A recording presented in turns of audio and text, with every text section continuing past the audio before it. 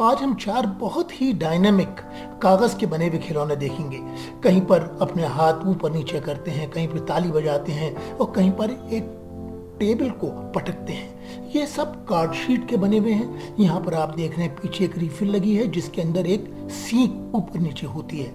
आप रिफिल को एक हाथ से पकड़िए और सीख को ऊपर नीचे करेंगे तो एक हाथ ऊपर जाएगा, दूसरा नीचे।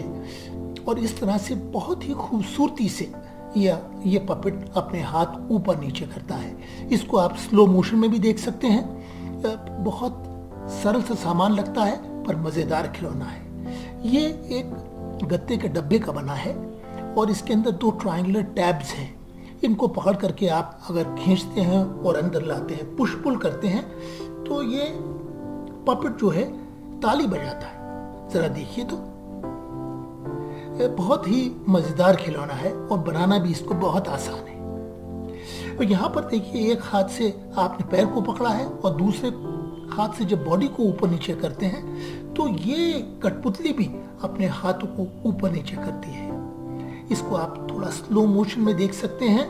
एक हाथ से पैर को पकड़ा है और दूसरे से बॉडी को ऊपर नीचे करते हैं। अब ये भी एक कागज़ का बना हुआ ये कठपुतली है, जैसे ही पैरों को आप पास पास लाते हैं ये बिल्कुल योगा जैसे कुछ वर्जिश करता है एक्सरसाइज करता है। यहाँ पर देखिए आदमी एक कुर्सी के ऊपर बैठा हुआ है और पीछे अगर एक स्ट्रॉ को ऊपर नीचे करते हैं तो ये अपने दोनों हाथों से टेबल को थपथपाता है।